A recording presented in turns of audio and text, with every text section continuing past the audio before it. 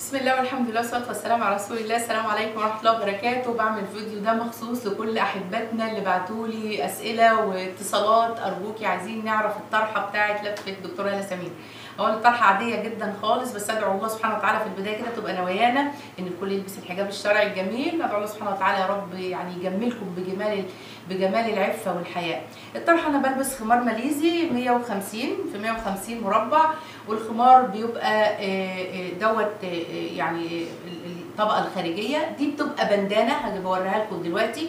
البندانة ديت بتبقى تقريبا نفس لون الخمار. طبعا عندي يعني قناعة كده إن هو من شحمتي الأذن من اسفل الذقن المنبت الرأس يعني. فأنا عندي إن المنطقة ديت بتدارى وده الأولى. ولو في يعني ستر أكتر من كده مش هنقول لأ. ندعو الله سبحانه وتعالى الأول إن هو يمن علينا بالنية الصالحة في الأمر ده. بيبقى 150 زي ما قلت لكم. بيبقى فيه مثلا البندانة بتبقى زي دي. في نوعين من البندانات. عندي البندانة اللي البندانة السورية بتتلبس برضو طبعا هلبس لكم بقى على الخمار وكده. في البندانة السورية بتتلبس كده تمام؟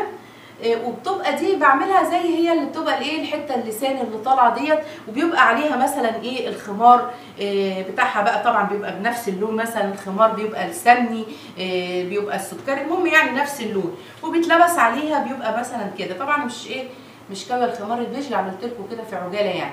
وبتبقى هي البندانة دي طالعة. أو الناس بتعمل حاجة ثانية دي البندانة السوري. في البندانة المصري بتاعتنا اللي إحنا عارفينها العظيمة البندانة التحفة اللي نعرف قيمة البندانات بتاعت مصر اسألوا المغتربين اللي زينا.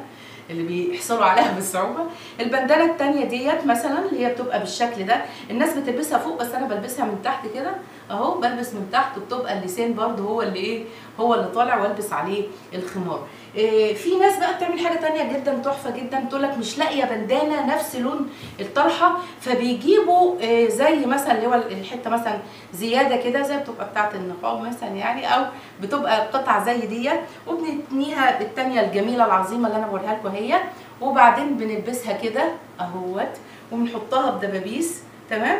وبيبقى الدبوس فوق اهوت وبلبس عليها الخمار اللي هو بيبقى لونها إيه نفس اللون. وانت كده بتبقي طبعا يعني إيه شايفة ان انك لابسة نفس اللون اهو. ودي بتبقى تحت نفس الموضوع بس طبعا إيه من جوه وبتبقى عليها نفس الخمار اهوت وبتظبطي حالك. هي دي الفكرة ببساطة يعني هي دي بندانة.